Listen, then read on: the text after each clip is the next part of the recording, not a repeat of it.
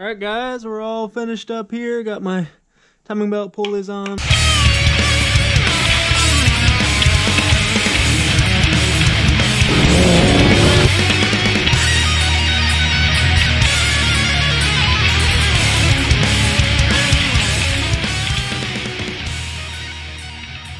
What's up guys? Welcome back. Today, Alan and I, well, Alan went inside the gas station real quick, but we're heading up to the junkyard today to get a rod for the engine.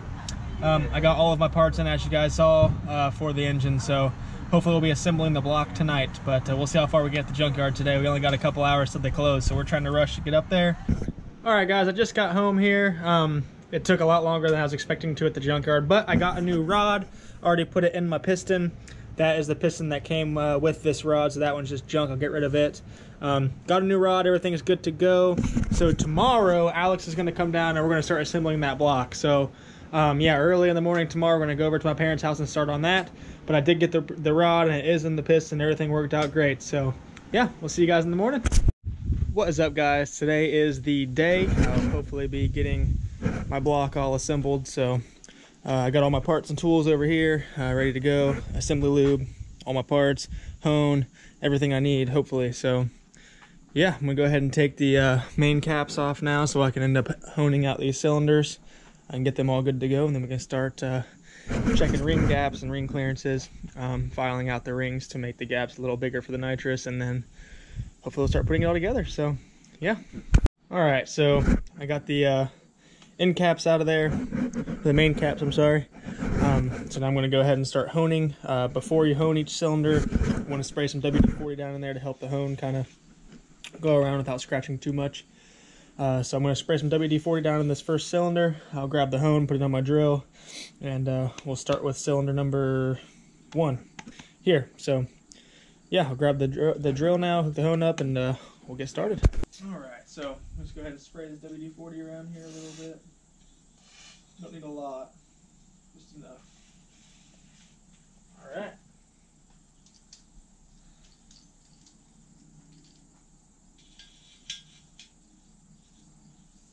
And when you go in and out, you want to go relatively fast. Obviously, you don't want to go too far down. You don't want to go too far up. But you want to go relatively fast going up and down. Uh, it doesn't take a whole lot, so just like this.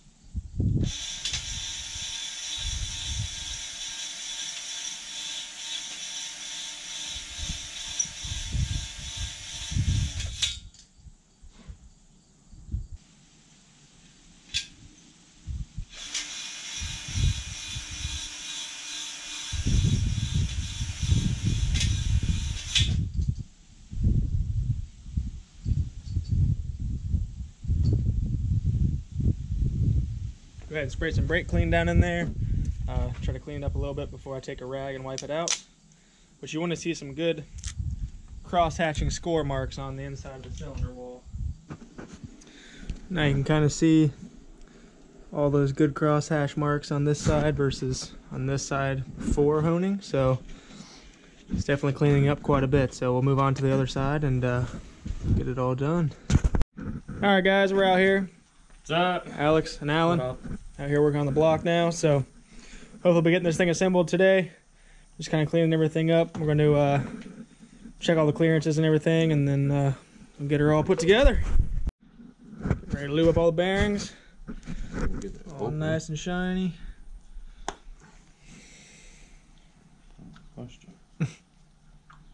The crank's all cleaned up, looking good.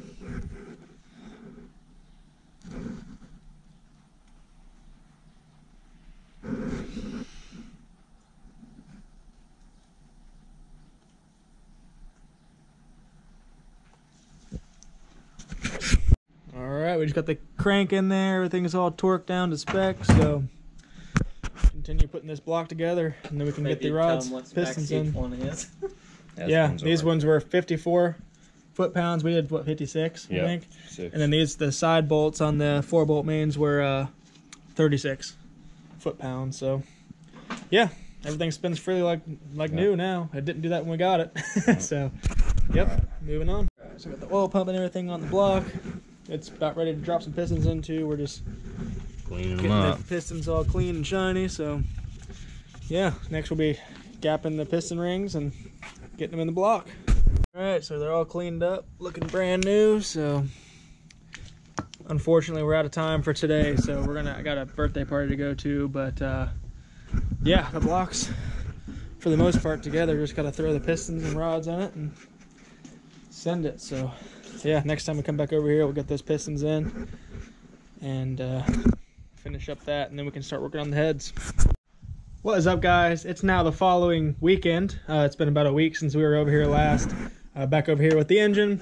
Today we're going to be filing our piston rings, getting them on the pistons, and hopefully getting the pistons into the engine. So uh, my buddy Cody, Cody Knobs, big shout out to you, buddy. Uh, let me borrow his uh, piston ring filer. So I'm going to go ahead and use that, file all the pistons. I'm going to open up all the gaps, uh, about 3 thousandths of an inch. That spec was given to me by the gentleman that runs Hafferland Performance.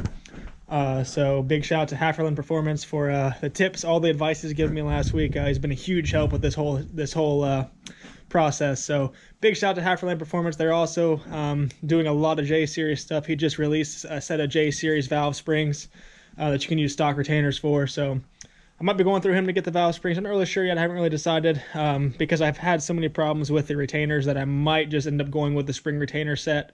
So I haven't decided on that yet. But uh, yeah, without any further ado, let's go ahead and start uh, filing these piston rings and we'll see what they look like. All right, guys, so here's our first uh, new piston ring here. Um, the, this is one of the top rings. So the tolerance for these, uh, I believe, are 8 to 14 thousandths of an inch on the ring gap. So I'm going to go ahead and slide it into the piston now, center it up a little bit, and then uh, we'll measure the ring gap to see what they're at new uh, when they came in, and then we can use the file to open it up. And like I said, I'm going to open them up 3 thousandths of an inch from the spec, uh, the factory spec for the nitrous. So uh, I'm going to go ahead and get it in the engine now, uh, measure it out, see what it looks like, and then we'll file it from there. All right, so I just uh, used my feeler gauges on that ring there, um, and it came out at, if, you can, if you can even see that or not, but it was a, a 17 thousandths of an inch. So like I said, the max um, factory spec is 14 thousandths of an inch, so that's already 3 thousandths of an inch bigger than the factory spec. So that's about where I want it to be anyways. Uh, so I'm going to go ahead and just put that one on the piston. Um, I'm going to leave it like that. I'm going to check the second ring. The second ring, uh, I'd have to look at what the tolerance is. I'm not 100% sure, but I'll go ahead and slide that in the engine now. So second ring going in. Like that. All right, get the piston squared up a little bit.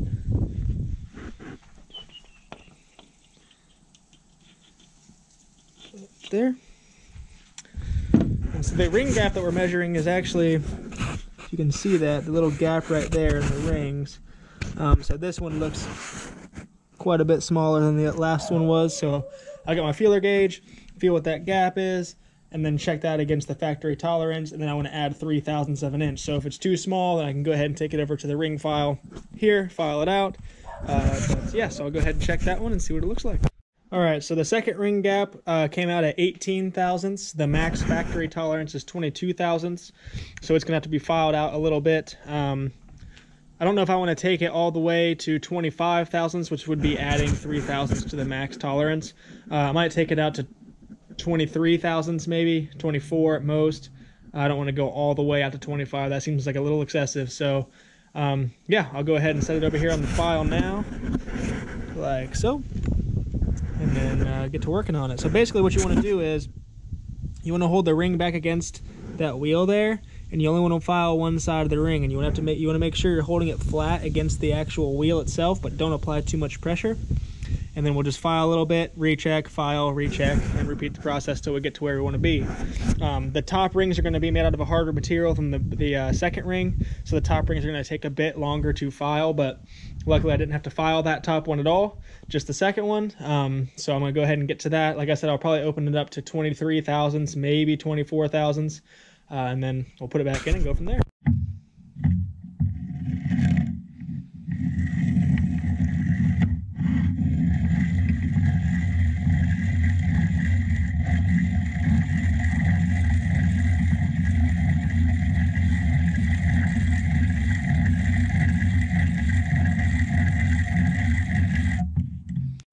Right, can't really see it, but I got my 24,000 uh, feeler gauge here. So as you see, it slides right into the gap real nice and easy. So I'm gonna say we're set on that one. So we'll go ahead and put that ring on the piston and then we'll just double check the oil uh, rings. Usually they're come preset perfectly. So just double check them, put it on the piston, and we'll slide that piston down into it. All right, so I got all the rings on my first piston here. So I'm gonna get the piston compressor tool or the ring compressor tool out and uh, drop this piston on in the cylinder because I don't want to mix up what pistons go where because I gapped the rings for this cylinder here. So if I put them in here, it could be slightly different. So get my piston compressor tool out, drop it into the cylinder, and then we'll move on to the next one. Got my bearing in there. Getting ready to uh, just put a little bit of oil on the inside of the cylinder before I drop the actual piston in there just to kind of lubricate a little bit make it a little bit easier on myself. So I'm going to lubricate that with a little bit of oil, uh, wrap my piston in my piston compressor, and then just go ahead and drop her on in. All right, got the first piston in. The engine turns over, so I'm going to go ahead and move on to the next one. Um, and then we'll just go back and forth and get all of them in.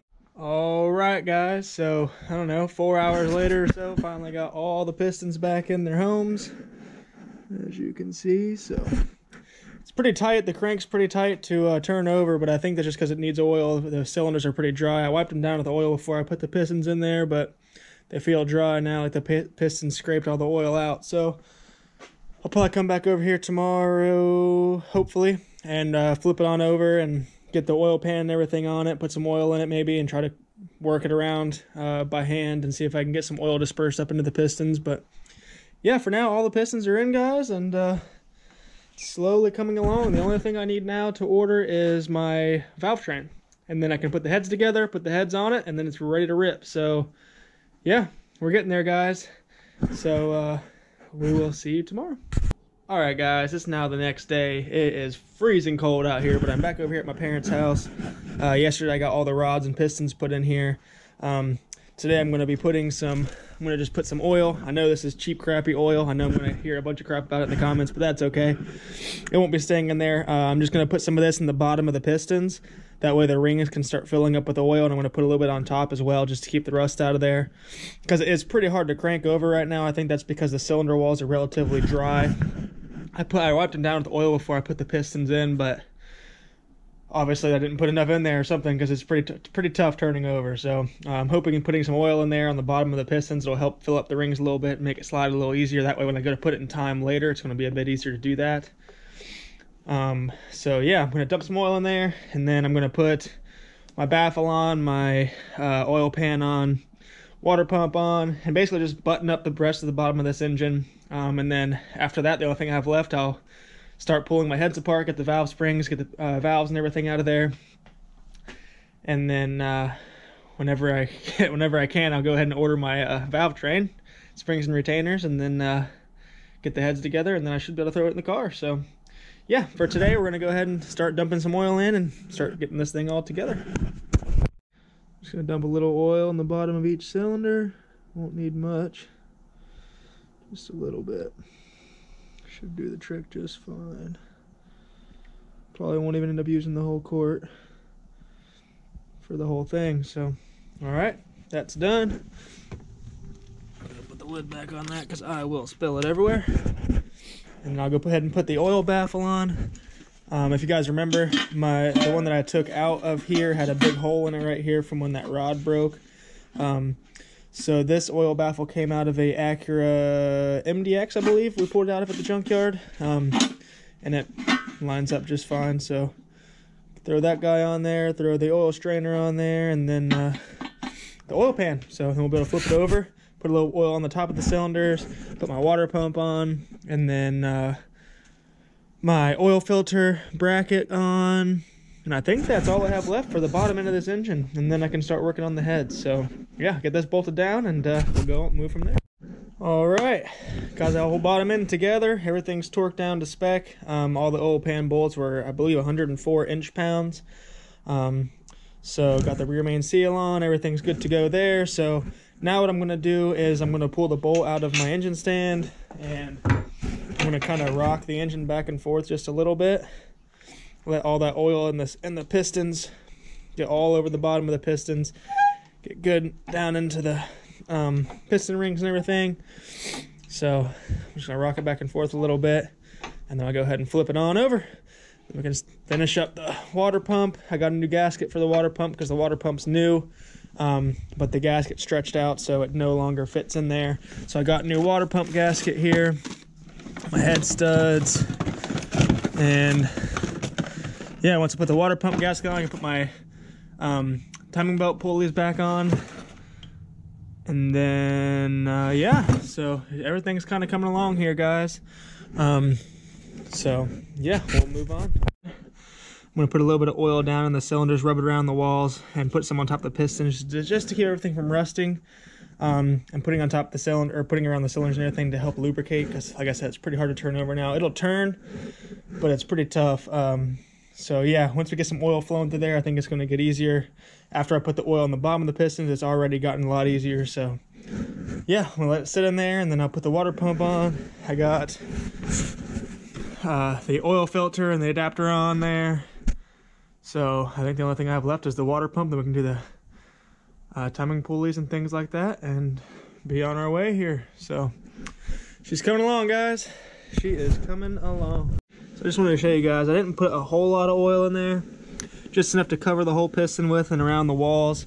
There's a little bit of pooling in there going on, that's okay. Um, obviously it's gonna smoke like a freight train when I first started up, but that will be okay as long as I'm expecting it. So yeah, little oil, little bit of oil in all them and moving on to the water pump.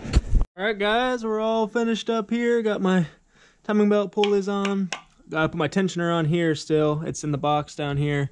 Um, but I'm not going to put that on, obviously, until I put the timing belt on. Um, but, uh, yeah, so everything's on the front. Water pump's on. Pistons are in, covered in oil. Water pipe's on. So, yeah, now we're just waiting on the head. So, like I said, hopefully sometime this week or maybe next weekend or whatever, I'll start pulling the heads apart, get the valve springs and stuff off, get ready to order the uh, valve train. Once I get that in, I'll put it in the heads and then it'll all come together. I do have to run over to the hatch at some point and get the knock sensor because I accidentally broke this one trying to get it off of the other engine or the other block that had the hole in it. So that is broke, so I gotta pull that off the hatch. But other than that, we should be good to go, guys. So it's coming along. Hopefully in the next few weeks we'll have her ready to drop in the car. So yeah, anyways, guys, that should be it for this video. Um, like I said, the next one will consist of pulling the heads apart. So thanks for watching, guys, and we'll see you next time.